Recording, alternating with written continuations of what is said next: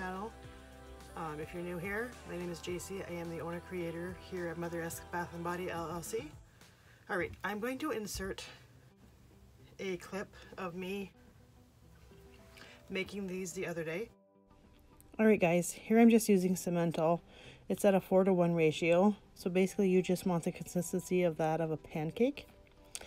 Um, now initially I got my information uh, from Kayla from the Wize Owl Candles. She has a YouTube channel and I watched her um, videos on it and I found it to be very informative. I'll link her below so you can go and check those out yourself.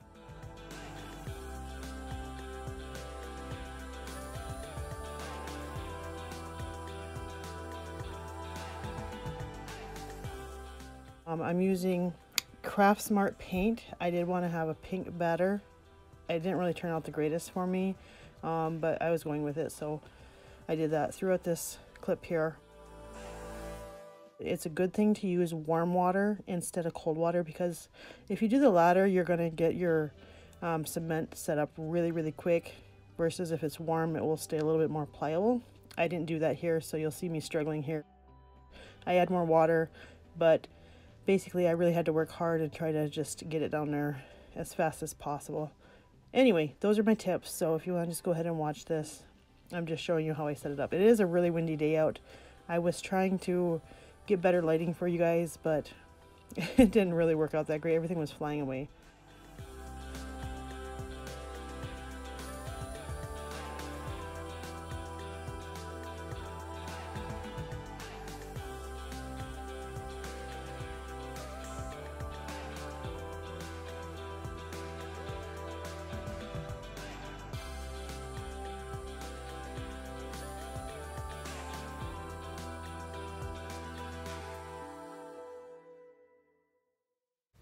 Now I did some more since that time and when I initially started it was going to be pink but I've decided to add my own take on it and change things up a little bit and make these a little bit more girly girl. So, alright, so these I previously um, unmolded and then I thought I should show you how I'm doing it. Um, they're a little bit tricky. Um, you just got to stick with this. Takes little muscle. okay.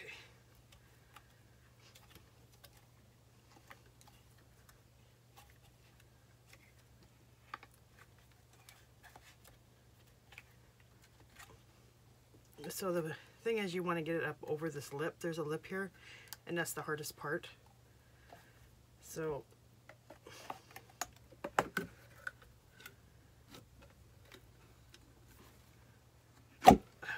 got it. And that's what she looks like. Let's see.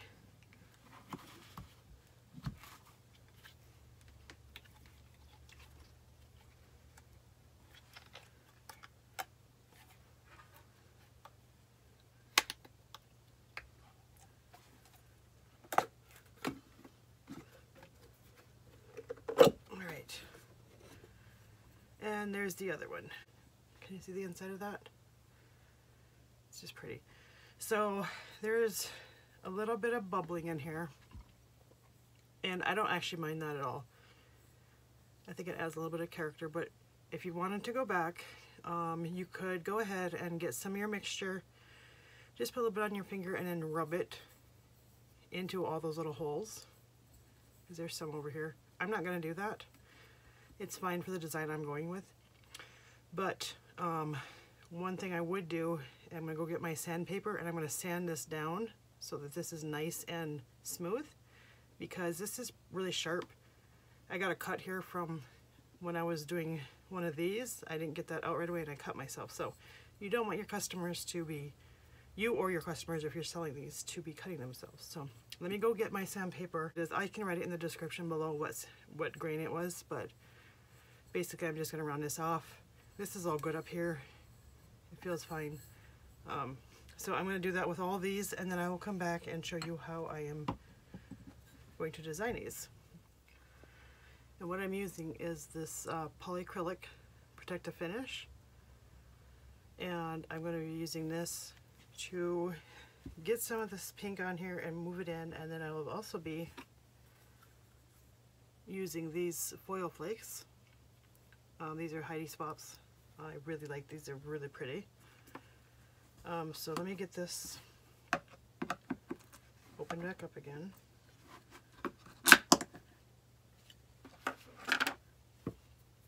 Okay, and now this sounds kind of funny, but I'm going to be using a bag.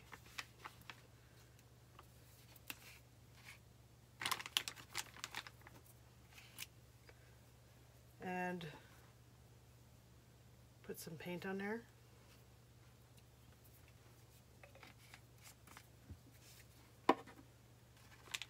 Now,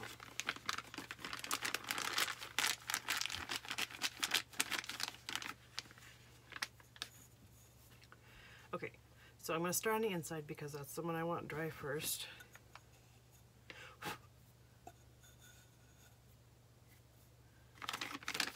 And I'm just going to take this in here. Um, and I'm doing pink on the inside. Basically, I'm just to go around like this.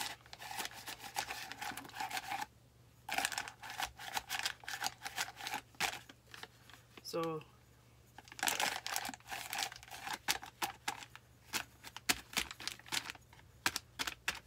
I was working a little section here.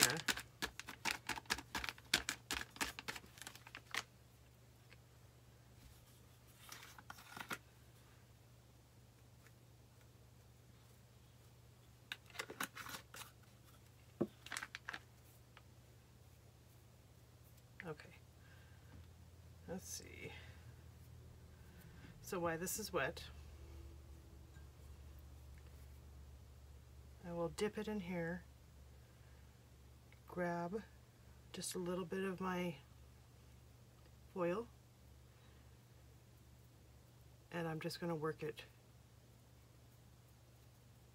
into the top. And it doesn't have any rhyme or reason how I'm doing it.